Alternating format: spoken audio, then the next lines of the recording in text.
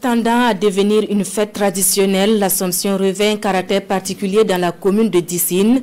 Cette année encore, ressortissants de la commune d'ici et d'ailleurs et leurs amis ont convergé vers Dissine pour la fête dont l'activité majeure reste la messe. Et comme vous allez le voir, la paroisse cathédrale Sainte-Thérèse de l'Enfant Jésus a refusé du monde. Images et commentaires signés Oumarou Sagnon et Christophe Da. Plusieurs centaines de personnes prennent part ce 15 août à cette messe à Dissine célébrant l'Assomption de la Vierge Marie. Pour cette 47e année de célébration devenue une tradition à Dissine, le message est centré sur les vertus de la Vierge Marie. Le message que je laisse euh, à tous les chrétiens, à tous les catholiques euh, de ce monde, c'est d'être des fils et des filles de Marie, d'être à l'image de Marie cette femme toujours disponible, toujours humble et toujours priante.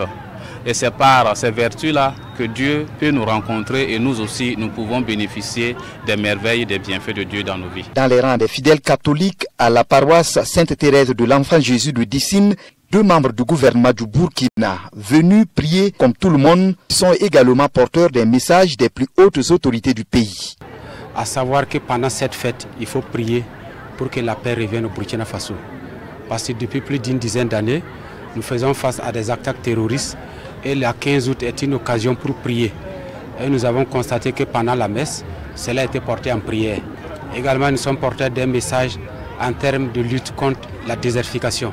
Lors du lancement de la campagne de reforestation 2024, le chef de l'État a appelé tous les fils et toutes les filles à rendre le Burkina Faso plus vert et nous avons porté ces messages à la communauté de Dissine.